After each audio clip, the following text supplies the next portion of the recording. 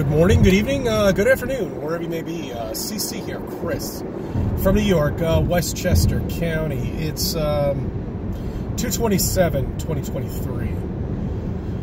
Uh, today I decided to take a day off. I thought the snowstorm was going to come in today, but yet again, the fucking weatherman was wrong. It's going to come in tomorrow. So, anyway, I figured I, would take my day off and uh, do a little research, some pictures that's right. There's a country club in Rockland County. it's called New York Country Club. And um, it's a perfect place for a flat earth meetup. I'm going to do some phone calls and check out the director of catering, whatever the hell her name is. I'm sure it's a her.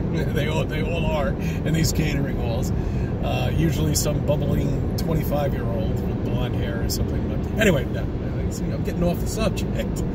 Now, the reason why I'm going up to New York Country Club in Rockland County is because it boasts that it's 25 to 30 miles away from New York City. And you can actually see the city skyline from the patio of the New York State Country Club.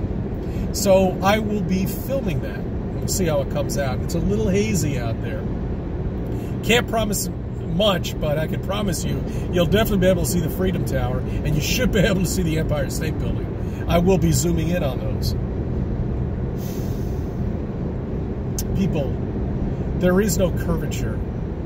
You live on a flat plane. You're covered with something. I don't know what the hell it is, a dome or I don't know the shape of it. None of us know. Okay, but you're definitely not living on a spinning wet fucking ball in this freaking vast universe. Go anywhere. Check it out. Go to the shoreline.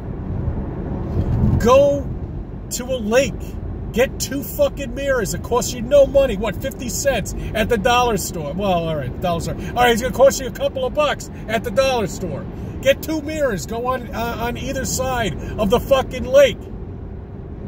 Shine them. Reflect the sunlight and see that there's no fucking curvature at all and there's not going to be at all because I'm going to be able to zoom in and show you the Freedom Tower and show you the Empire State Building. I'm going to be able to show you all of it.